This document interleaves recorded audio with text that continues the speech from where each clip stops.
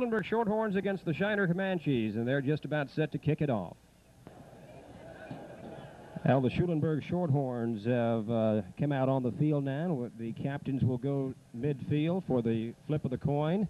Stephen Sarton, number 10, for the Schulenburg Shorthorns. Chad Gintert, number 61, and Barry Shepard, number 34. And as we mentioned in the pregame, uh, Jeff, uh, Shepard, or I should say Gintert, is in uh, back in healthy status now. That's a welcome, welcome addition to have back to the lineup. He's the leader of that defense. We have two nicknames for him here. We call him the Headhunter and the Bull, two of the ways. He's one heck of a player. If, if he could magically get about 20 or 30 more pounds on him, he'd be playing college football next year. Of course, Chad is 6'4", 195 pounds. He was a force last year as a junior, and he's having another terrific year again this year. He is. He's got a heck of a heart. If you meet him on the sidelines, he's the nicest guy you ever want to meet. But don't put him on that field. I wouldn't want to be across from him. We talked uh, earlier about, uh, we just alluded briefly to the Weimar game last week where Schulenburg uh, convincingly defeated Weimar. What are your overall thoughts on that game? Well, uh, we kind of came out a little bit flat. I, I think uh, kind of being an overwhelming favorite in the game kind of didn't help us a little bit. Uh, we were looking to this game. I know we're really concentrating on getting to this game. And uh, Weimar came out ready to play. They, they, there would have been nothing better for them to, to, to beat us that, that, last week. But uh, after about the first half a quarter, a quarter, we came back to our regular self and, and, and played the way they should. We could have played better. We could have played better and could have scored more points. But uh, Coach Hoosman showed a little class and knelt the ball down near the end and, and did a few things that really show the character he is. Of course, Weimar, the team we're talking about right now, will be playing Flatonia this evening on this Friday night as the horns come through the banner. And uh, that realignment from the district didn't seem to bother Flatonia in the preseason, but here in the district season, uh, they've had their hands full as East Bernard easily handled them. Well, they were they were used to playing that uh, 1A schedule, and they got to bring a few of those along in their pregame schedule this year. Uh, convinced them to play them, and it, and it hurt them. It hurt them legally. It really hurt them.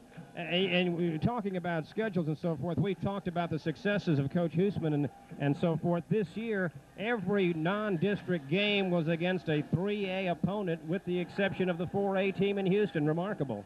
Well, the, uh, that game was by far the toughest game we had, and, and uh, I wouldn't want to play them again uh, the next week. Uh, by all rights, they had us beat on that game, but uh, if you've watched them in the paper lately, last week they beat a fine Scarborough team 35 to 7. So they're a fine football team that we happen to uh, be fortunate enough to win that week.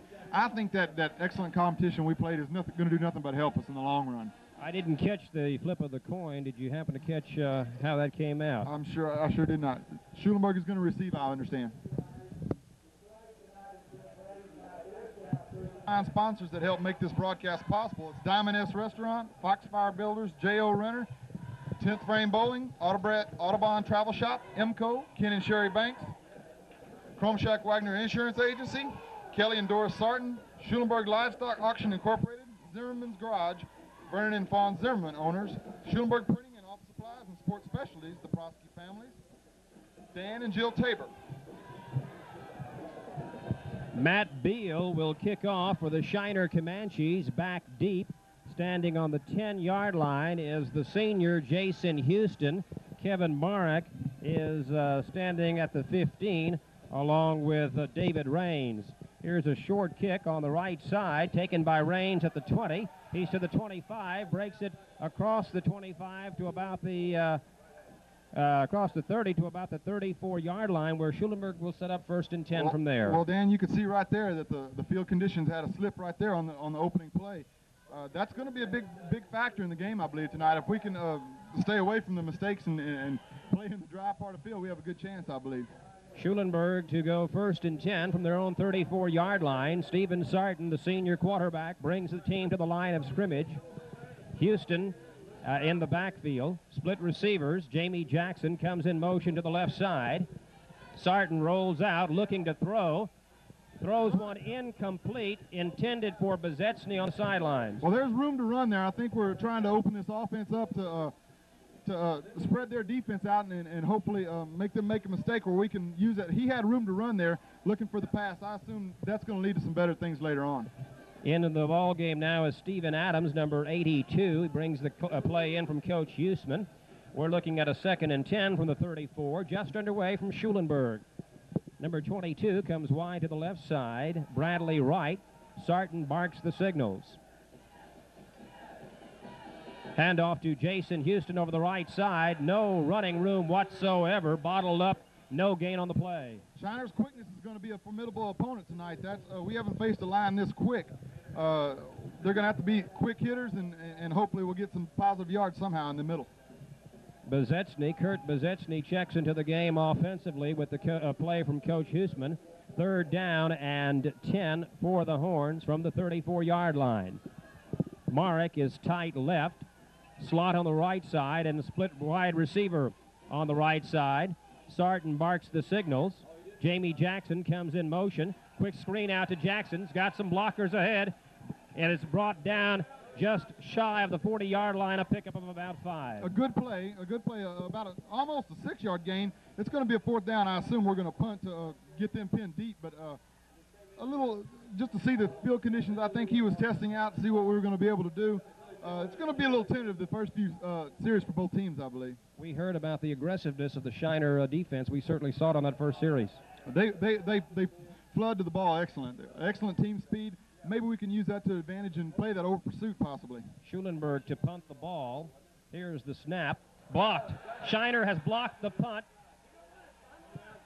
Rains falls on the ball. Jared Schromick attempted to punt the ball standing on his own 25-yard line, and it was blocked, I believe, by uh, Jason Cowan of the Shiner Comanches, and quickly Shiner has uh, got the momentum on their side. That's one thing we alluded to earlier. We need to cut down the mistakes and uh, keep the ball in there in the field. We need to make a big step up here and uh, defend our goal and do a fine job here. The slap seemed to be a little bit to his right, but uh, just seemed like uh, Cowan came in ever so quickly. Just enough to get the ball. Number seven will quarterback for the Shiner Comanches, Radney Ventura. Hand off to number two, Nothing doing. Lyndon Lee. He goes nowhere, loss on the play. A host of horns in there. That's going to be a big key for us, Dan. If we can keep that play from being a big gainer for them, uh, that's one of their bread and butter plays. He's a fine running back, if not the finest, one of the best we've seen this year, and he's going to be a key to their game. The right side of the line of the horns kind of strung it out. Lee had nowhere to go to, and then uh, Chad Gintert and a host of horns came in to put the stops on him. Actually, uh, no gain at all. I thought it may have lost a little bit, but it's uh, we'll call it second and 10 from the 35-yard line. Here's a pitch out to Lyndon Lee. Again, uh, not much running room. Finally brought down in a big way by Sam Brown. Excellent pursuit by the line there. We're going to have to turn that man in. We can't let him afford to let him get outside and, and utilize his speed. Nice play to string him out. Schromick like to have him in the backfield for a good loss. Uh, that's what speed does for you, though. Get you away from that one tackle and, and possibly makes a big play. A big play here for Schulenburg. Yes, it is. Big play for Schulenburg, big play for Shiner. Third and nine from the 34-yard line. Clock runs, 9-11 to go. First quarter action, no score in the game. Shiner's got the first break of the night. They made it there on their own. They blocked a Schulenburg punt. Quarterback back to pass. Screens one out, incomplete. A screen that never really developed. Well, uh, our line got in there excellent, had a, a lot of pressure on him.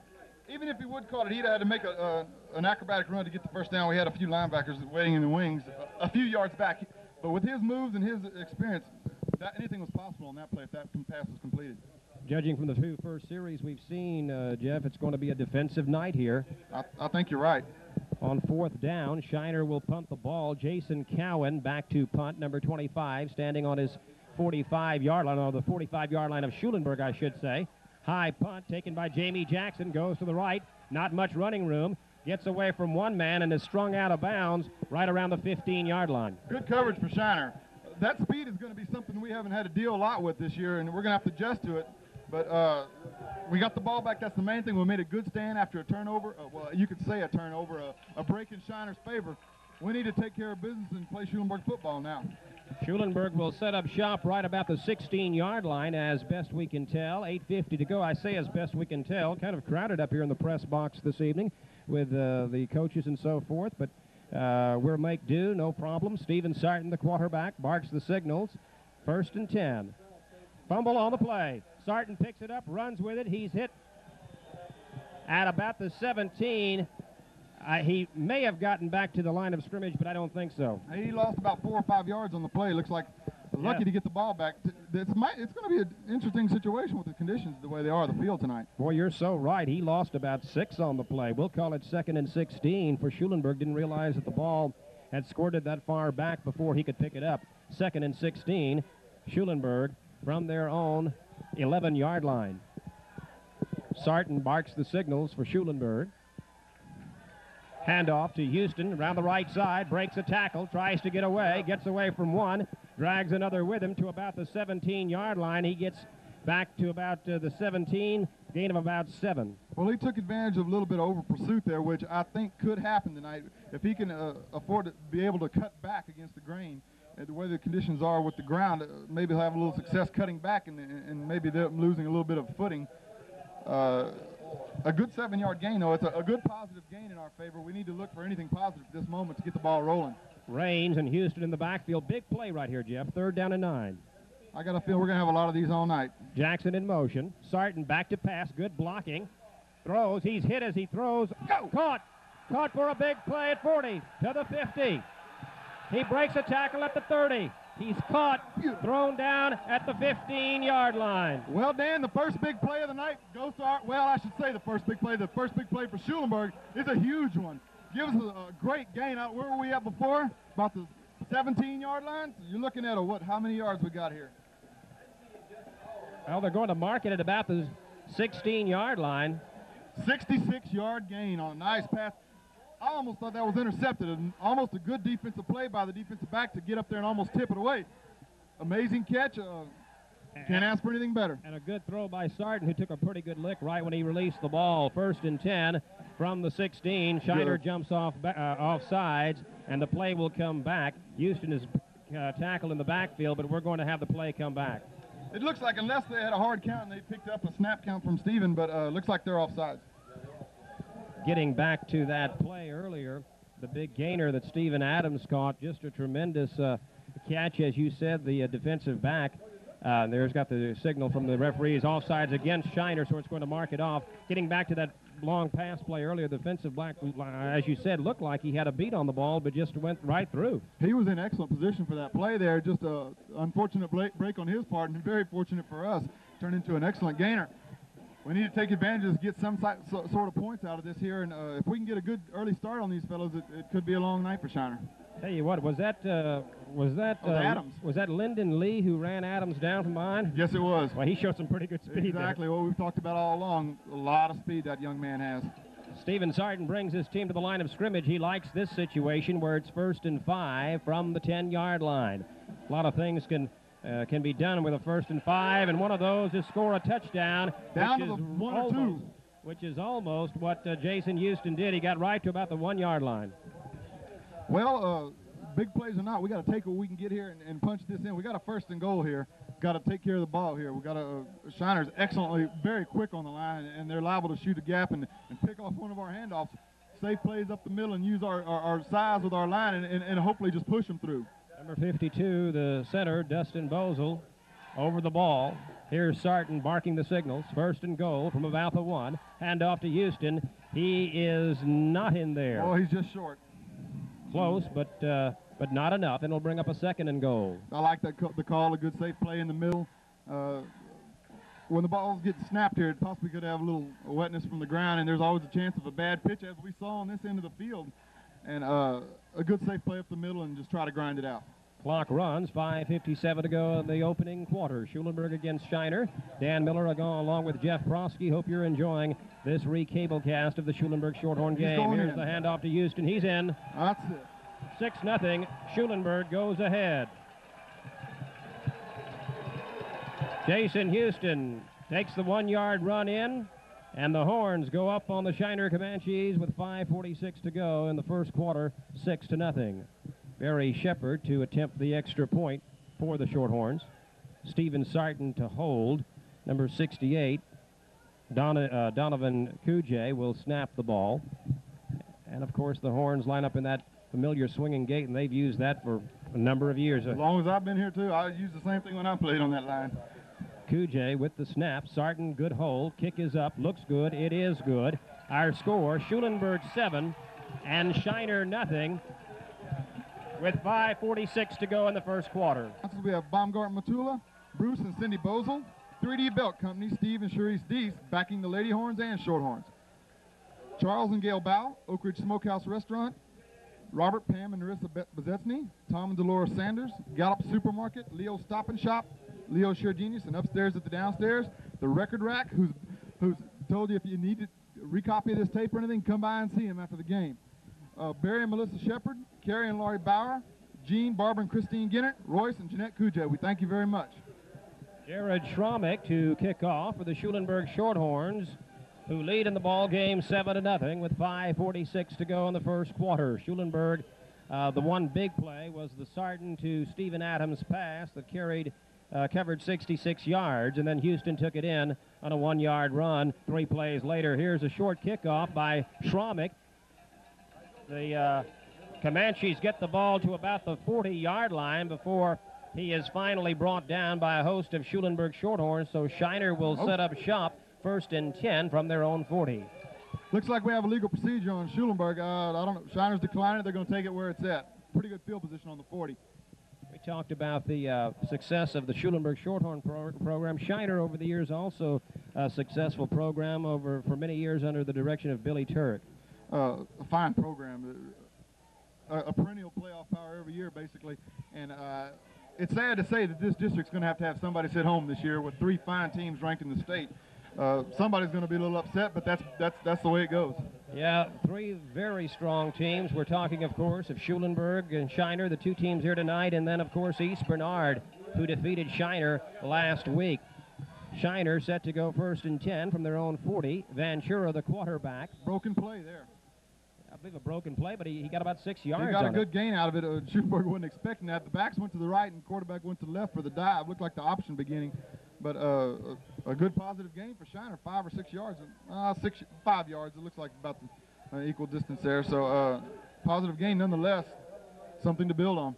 Clock shows 5:10 to go and runs here in the first quarter, seven to nothing. Schulenburg leading. Shiner with the ball at their own 46-yard line. Split receivers to the right, one wide receiver to the left. Full. Here's uh, Ventura, the quarterback, with a keeper over the left side, very close to a first down. Gets about to the 49. It'll bring up a third and one. We've noticed before and, and seeing them play before that their line doesn't look like it's set. The, the rule states you have to be set a full count before the snap is taken. Shiner isn't set, and it, it's never been called. I don't know if it's been brought to their attention, but we've noticed it before, and I'm sure that the referee on this end is getting an earful from Coach Hoosman. But uh, another good carry. Quarterback's going to, if you remember, if you, back to when Shiner played us in the playoffs for years, he scampered for a quarterback sneak touchdown, 50-something yards or so on. A fine play. Third and one. Big play. Oh, big Lee hit. did not Big get anywhere. See if was it 51 or six? I guess it was 51 uh, Hernandez and 61 Gintert. it was a bad spot there. We're uh, complaining here. It looks. I don't know if they're going to punt, go for the punt. They might be going for this uh, fourth. I don't know if you want to give Schulenburg that uh, good a field position, but uh, it's fourth and one. A good spot. if you're Shiner's case, there a good spot on the on the ball. Ricky Hernandez really shot through there. Ricky's a 5'9", 170 pound senior. They are going to punt the ball. Don't be too sure, but I wouldn't. I wouldn't be too. No, he's going. with it, Okay. Cowan punts Good punt. high, Get out of the short, way. short punt. There you go. Ball is That's high and rolls to about the 21-yard line. And I, I don't know if you saw that right there, but uh, Adam Bozel was going downfield. The ball was short, and uh, someone hollered at him, and he cut right toward the sidelines. He had no idea where the ball was, and that was a good move to get out of the way. Good presence of mind out there. Adam's a, a, a, smart young man out there. Uh, an excellent hitter, as Weimar, some of the Weimar players can testimony to last week. But uh, fine play by him. Could have been a big turnover if, if he'd possibly gotten in the way of the ball there.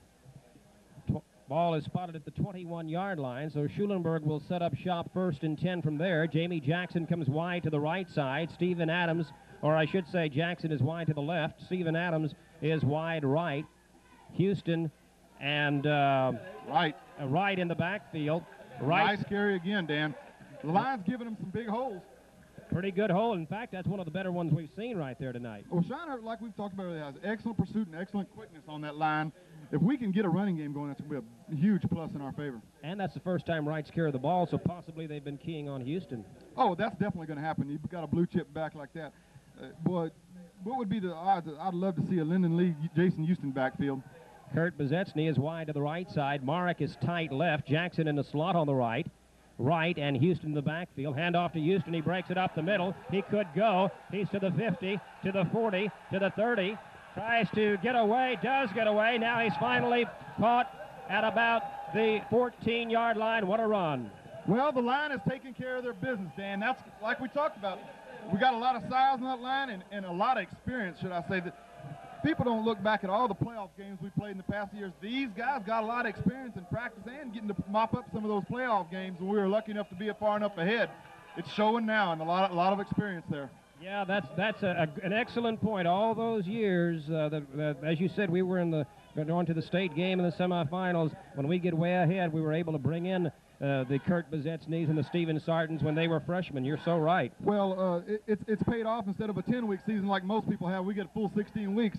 That's a lot of years, and when it adds up at the end. Jackson in motion on the, to the Wright. Hand off to right. Got some running room. Breaks it across the 10 to about the 9 pickup of about three on the play. We'll call it second and seven. What I like to see about when him, he's running the ball, he sure is covering it up. He had a, a little bit of problem earlier in the season with some fumbles, and uh, at this part of the field down here, we can't afford any mistakes, and he's covering that ball up and, and getting positive yards and holding on to the ball. Bradley Wright is a 5'6", 165-pound junior for the Horns. He lines up in the backfield next to Jason Houston. Jackson in a slot to the right. Adams in a split out wide to the right. Marek is tight left. Here's handoff to Houston over the right side. Gets to about the six-yard line, I believe. A good tackle by the Shiner man to recover on that. Looked like there was a hole there got him by the foot and made a good tackle. There was a hole there, a nice little hole for Jason. Just a shade slow on that, possibly, and attribute that to the quickness of the Shiner line. We hope you're enjoying this uh, our cable cast over Channel 16. This is Dan Miller along with Jeff Prosky. Good to have you tuned in as the Schulenburg Shorthorns look pretty crisp tonight, Jeff. Well, the first series we were a little tentative out there. I'm sure we're both teams uh, feeling each other out, if, if the word you want to use that word. But uh, looks like we're back to ourselves. Hope we can keep this up. Sarton barks the signals, third and six. Oh, he gets away. Uh, he eludes one man who came in for the sack and was able to get rid of the ball incomplete. Shiner had a good defensive call with a blitz there. Uh, just a good call. Good, good play by Shiner to disrupt the pass. Hopefully, we can get some points here with Barry's foot and, and, and, and put a 1-0 on that board instead of that 7. We were talking earlier about young people coming up in the program. You and I were talking before the ball game. Uh, Shepard was kicking when he was a freshman. Oh, yeah. He went to some schools at Rice University and so on and, and took some classes on this kicking game and so on. And he's done a fine job for four years. Uh, I, would like to find out his total point total for those four years. I'm sure it's real nice. Here's the kick. It looks good. It is nice good. Kick. A lot of room on that one.